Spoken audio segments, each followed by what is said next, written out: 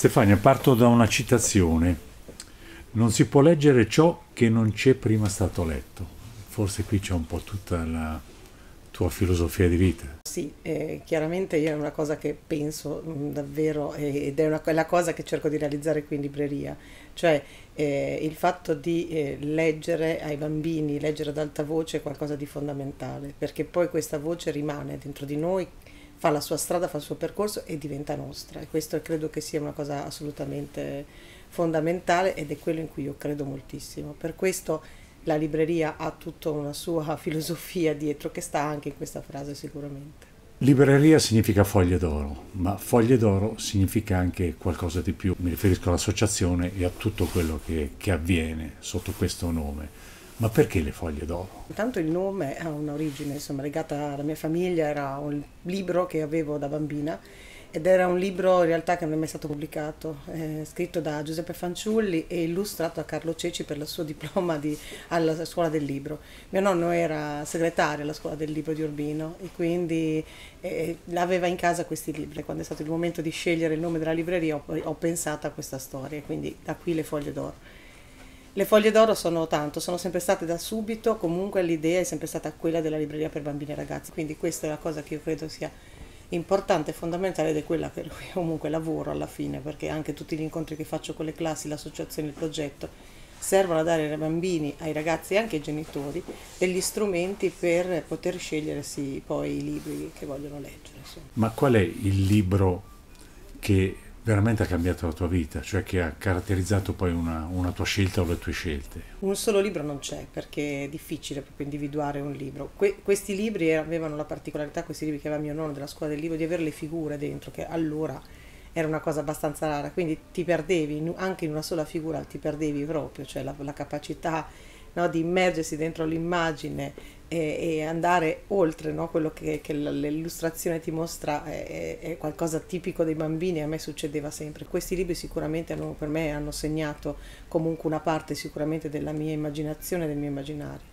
Poi ci sono stati i romanzi, ho iniziato a leggere credo un po' come tanti della mia generazione abbastanza presto e quindi tutti i, ragazzi, tutti i romanzi classici, no? dalle piccole donne, ma anche La capanna dello zio Tom, l'isola del tesoro, io ho adorato l'isola del tesoro per esempio, Sono, erano libri che comunque uniti alla, a, al fatto che ti mancavano tante cose, quindi comunque erano veramente dei momenti di viaggio in qualche modo, tu ti immergevi in questi, questa, in, questi, in questi luoghi, in questi libri e viaggiavi, ed è vero che viaggiavi, viaggiavi perché poi non avevi migliaia di cose da fare durante la tua giornata.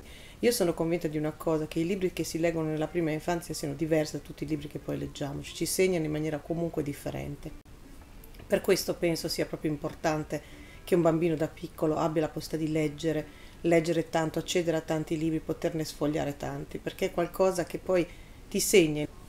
Il libro anche riferito ai più piccoli come strumento e deterrente rispetto all'abuso dei mezzi che ci sono attualmente, io penso la televisione, ma non solo, ma soprattutto tutto quello che è arrivato con internet. Eh, sicuramente la televisione, è, eh, io trovo che sia solo la televisione veramente pericolosa per i bambini, ma non perché leggo, perché amo i libri, eccetera, ma la trovo pericolosa perché ha tanti linguaggi differenti che credo che anche gli stessi genitori non conoscono, perché non l'hanno sperimentato loro per primi e quindi credo che in qualche maniera eh, un bambino debba avere delle alternative. La televisione è, è, per i più piccoli, intendo fino agli 8-9 anni e anche 10, è ancora un grande strumento di eh, è lo strumento pre- preferito secondo me, anche se ci sono tanti altri strumenti. Poi diventano invece altri gli strumenti. È chiaro che se eh, io ho letto, e ho letto molto, sarò una persona più capace di approfondire. Una domanda che faccio spessissimo ai ragazzi che vengono qui in libreria, no?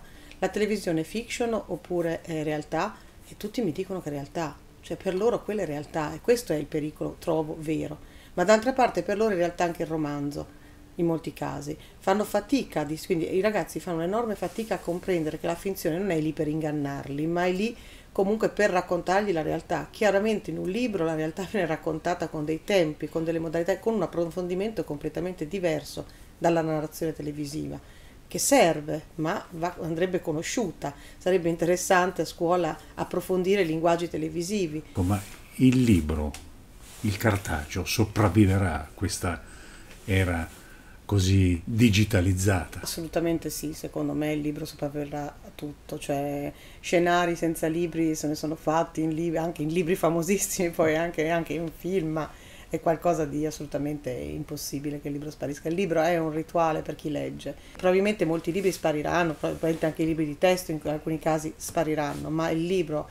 di narrative, il romanzo, la raccolta di poesie, il libro per disegnare, per colorare, fatto no, in maniera straordinaria, ce ne sono tantissimi, questi non, non spariranno mai. Voi insegnate a leggere, ma soprattutto insegnate anche a saper leggere agli altri, per gli altri. Noi siamo partiti da subito con l'idea della lettura ad alta voce 17 anni fa, perché la lettura ad alta voce è quello che ti fa accedere a una storia.